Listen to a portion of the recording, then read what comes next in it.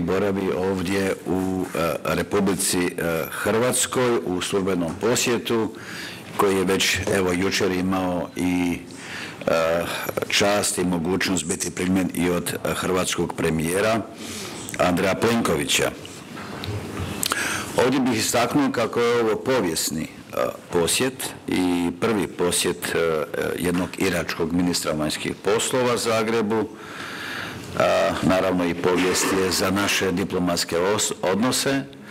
I ako sam se sa ministrom, dragim Fuadom, sastajao na marginama raznih konferencija i, u New Yorku nedavno i u Washingtonu, također i u veljači ove godine na Mihinskoj sigurnosnoj konferenciji i tada je ministar vanjskih poslova dr. Fuad Hussein obećao da će posjetiti Republiku Hrvatsku.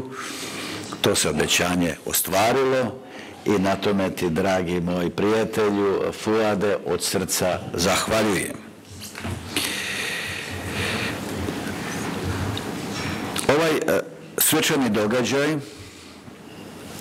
predstavlja krunu dugogodišnje uspješne bilateralne suradnje između Hrvatske i Iraka i daje snažan poticaj za daljnji još snažniji angažman, a osobito na području gospodarstva. Područje gospodarstva obiluje doista